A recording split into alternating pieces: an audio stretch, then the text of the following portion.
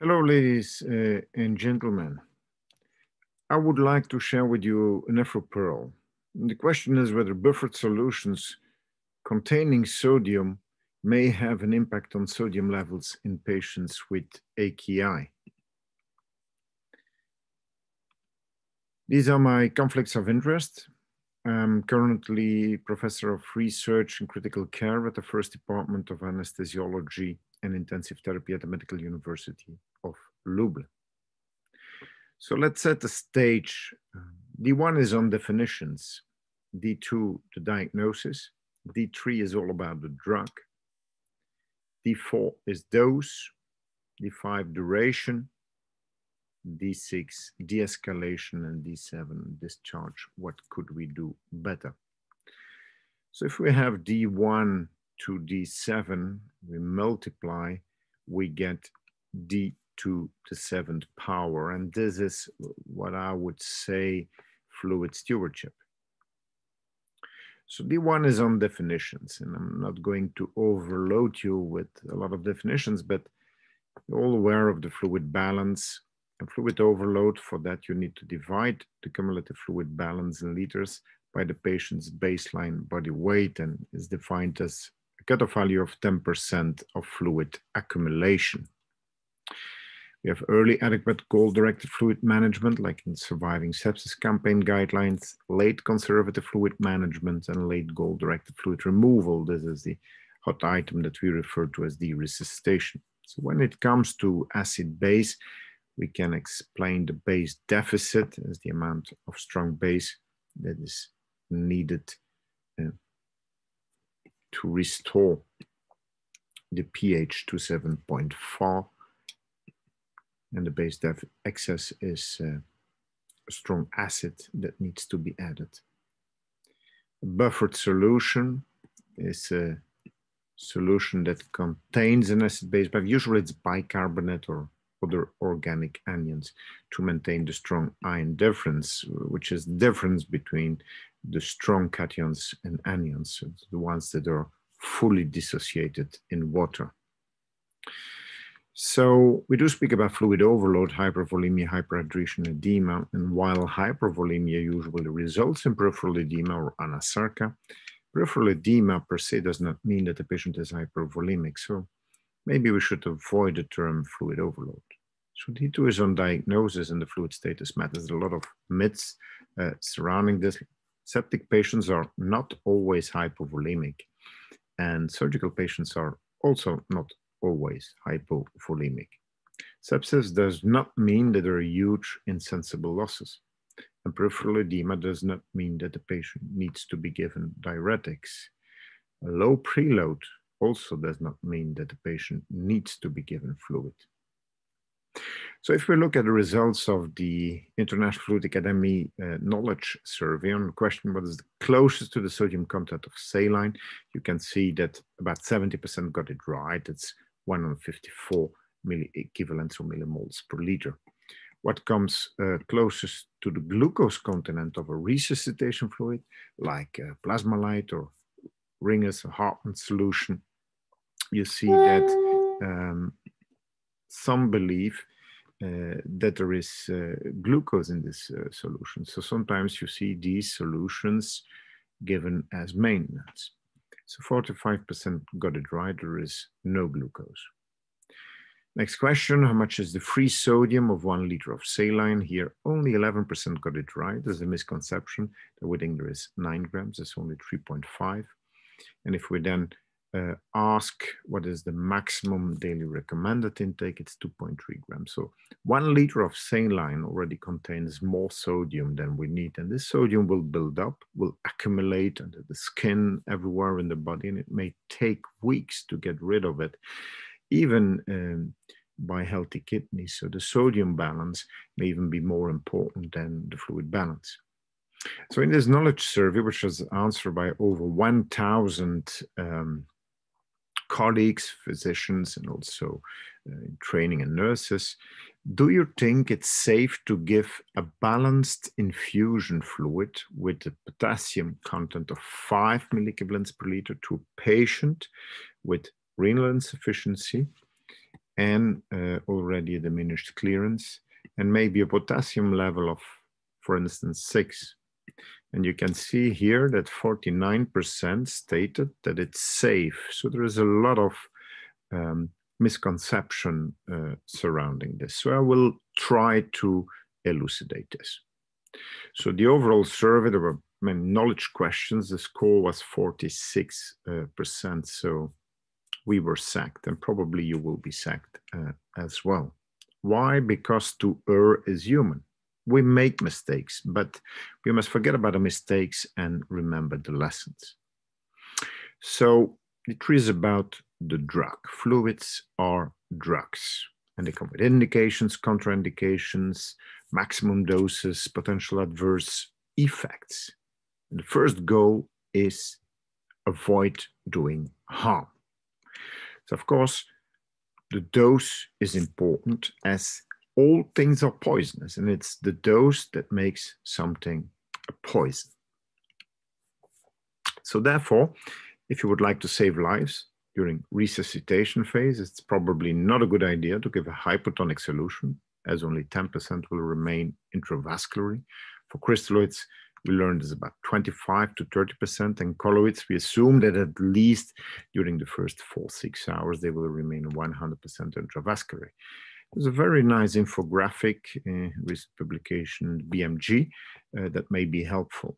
So the question about today is, is it safe to use a potassium-containing buffered balanced solution in an ICU patient with acute renal failure and, for instance, a potassium level already slightly increased up to six.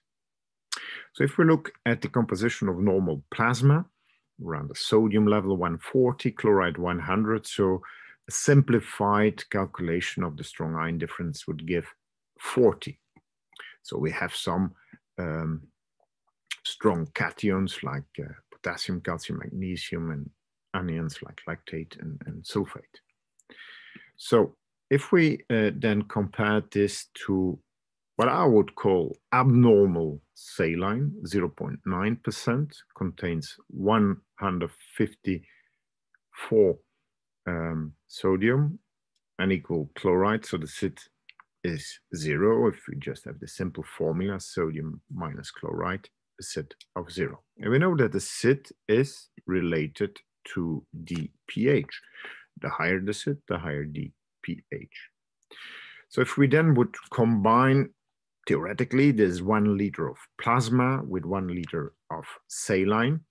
We would now have 140 plus 154 divided by 2 is 147 of sodium and 127 of chloride, which would give a strong ion difference of 20, which means that the SID has come down and this will result in a pH that will drop.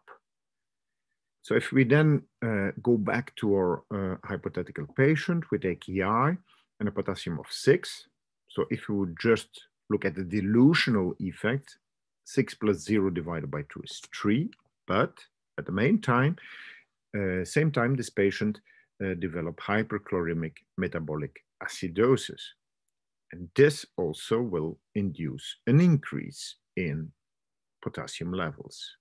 So this is uh, the final result that potassium may even remain stable or increase in critically ill patients. So if we then have the situation where we have one liter of plasma, as explained, and we would now look at the buffered uh, solution, I think the term buffered is better than uh, balanced. Um, Plasma-Lyte uh, contains 140 of sodium, 98 of chloride. Um, there is potassium of five, magnesium of three. Uh, so if we add up and take uh, the difference, we will end up with a strong ion difference of 50. And, and this is taken into account by adding acetate and gluconate.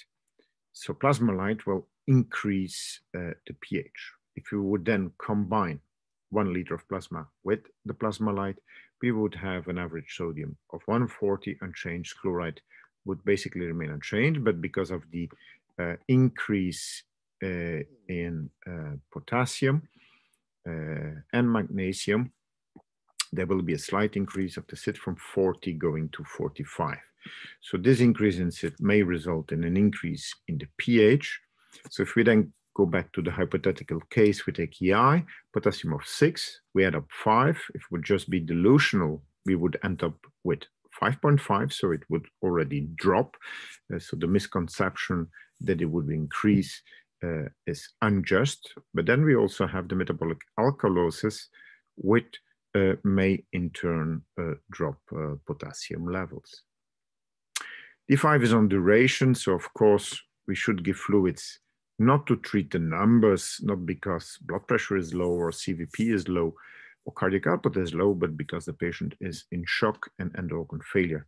And we should try to de-escalate as soon as possible, which brings me to the ROSE concept and the four phases of shock, dynamic phases, resuscitation, saving the patients, optimizing and organ support maintenance, and then stabilization.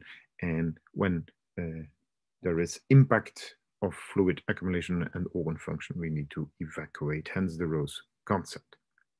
So after the first hit, whether it's sepsis, trauma, or burns, fluids must be given and fluid balance uh, needs to be uh, positive. Then comes uh, the second hit, which is related to ischemia reperfusion. Fluids will accumulate. Fluid overload is a biomarker of uh, disease severity. Uh, fluid balance should be neutral.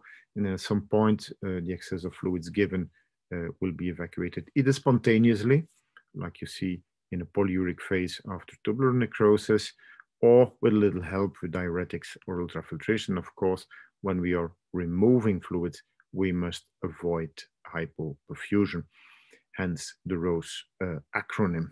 And the reason why we do this, because fluid overload um, at the outside, peripheral edema, anasarca, mirrors fluid accumulation at the inside at the level of the organs, resulting in venous uh, congestion and this global increased permeability uh, syndrome.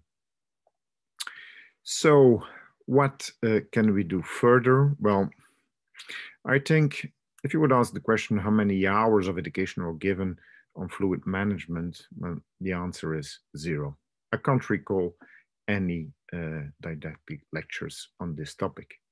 So there is a knowledge gap and we need to move forward. And that's exactly the reason why the International Fluid Academy uh, was founded. And by introducing fluid stewardship, which is a series of uh, coordinated um, interventions introduced to select the optimal dose, duration of therapy that results in the best clinical outcome, prevention of adverse events, and cost uh, reduction. By doing so, and this is what happened at University Hospital in Brussels, uh, over the years, we were able to come down in the amount of liters given per stay from almost 4 to 2.3, as well as in the amount of liters uh, given per day, hospitalization day, taken all together from 0.6 to 0.4 uh, liters. So to wrap things up, uh, ladies and gentlemen, I hope you will agree with me that IV fluids, they are not just uh, innocent bags of water, but uh, in fact, uh, they are and they should be treated uh, as drugs, coming with indications, contraindications, adverse effects. So I briefly introduced, and you can find more lectures on the 7 Ds uh, conceptual framework on the Fluid Academy website, um, the different uh, Ds, um, and taking this to, together, uh, this will um, lead to personalized fluid therapy. You can't do this alone. You need a fluid team, fluid uh, stewards. So getting back to this fact uh, checker, so it is a fact that a balanced buffered crystalloid solution containing potassium at around 5 milliequivalent per liter can be used safely in patients with AKI and increased um, potassium levels around 6 milliequivalents per liter. So the explanation is that due to the increased instead by the buffered solution, pH will increase, giving metabolic alkalosis and drop in uh, potassium, aside from any uh, dilutional effect. And unbalanced solutions like uh, abnormal um, sodium chloride, 0.9%, even if they do not contain potassium, can worsen metabolic acidosis, hyperchloremic, and hence further increase uh, potassium levels. That's why we should not use them in large amounts. Having said that, it's my pleasure to invite you to join the International Fluid uh, Academy uh, with the free lifetime membership and access to the repository. Thank you. Stay safe.